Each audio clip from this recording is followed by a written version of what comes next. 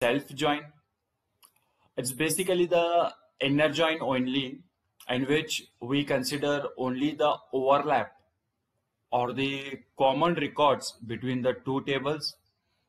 But only major difference here is the left and right table is the same.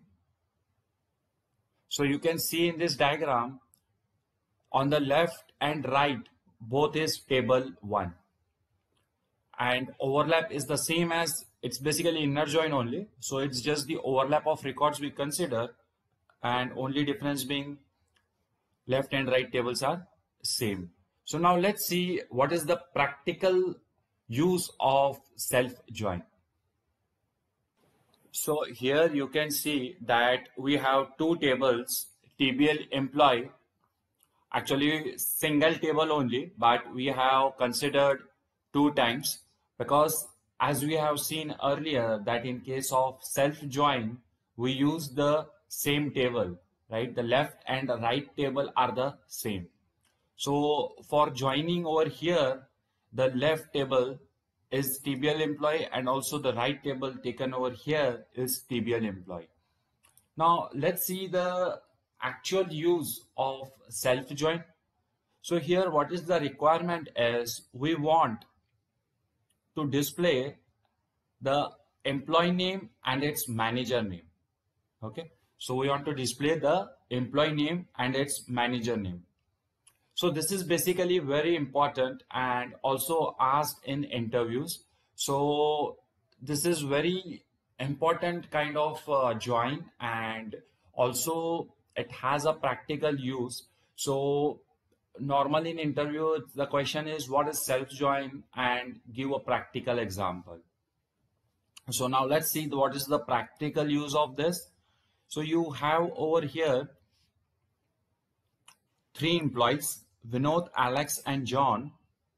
And you can see over here we have a column which is manager ID now for employee whose employee ID is 1 manager ID is 2.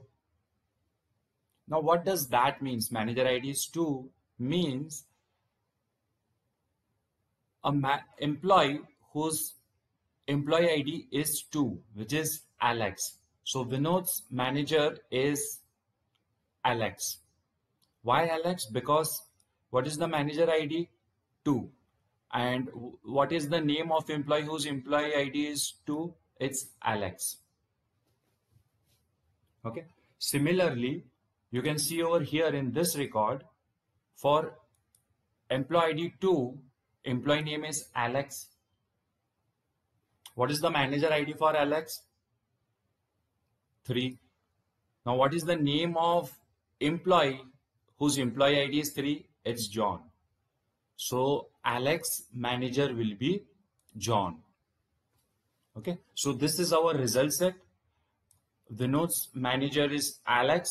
Alex manager is John. So what I have done over here is to make your visualization simple, I have considered the table and arranged in such a way that this single row is in a single line. Okay. So now let's understand how we are going to implement this. Now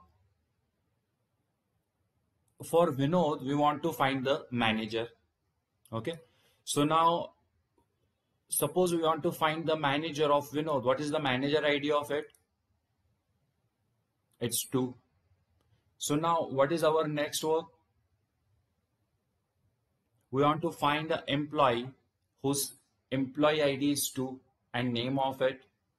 So let's see that in that case, we will use the second table as a source to get the manager name okay? So what is our work? We have to find a employee whose employee id is 2 and get its name. So what is the manager id here? 2 we'll go in this table and search the record where employee id is 2 so we'll get this record. Now just for this employee id 2 we have to get the name.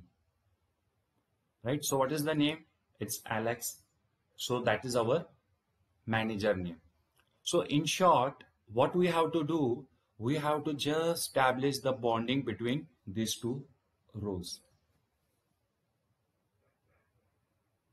So now how do we establish the bonding between these two rows? It's very simple.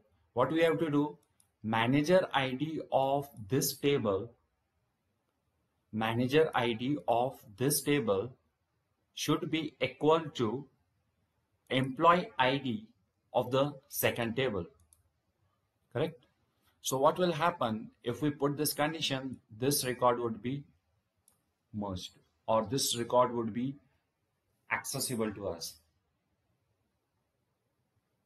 Got it? So then once this record is accessible to us, this column employee name, we will say that as employee name and this employee name, we will tell it as manager name.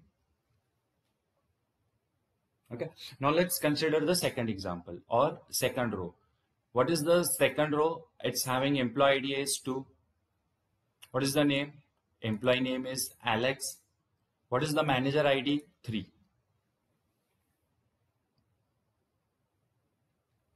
Now with this manager ID, what we have to do now? We have to go in this table and find the employee whose employee ID is 3. So which is that row? It's this row, 3, John and null. So basically, to get that same concept, we have to tell manager ID of this table should be equal to employee ID of this table. So with that, what will happen? This entire record would be accessible to us. Then what we will do, we will just take this employee name. This will be our employee name. And this employee name, we will term it as manager name, right? So here is our result set. We took Vinod, this is our employee name. And this Alex, we took it as manager name. Same for the next row. Alex, this goes as employee name. And John, this goes as a manager name. So this is how our result set got generated. See over here, this is a practical example of uh, self join. So the point which we discussed, it's basically nothing but inner join.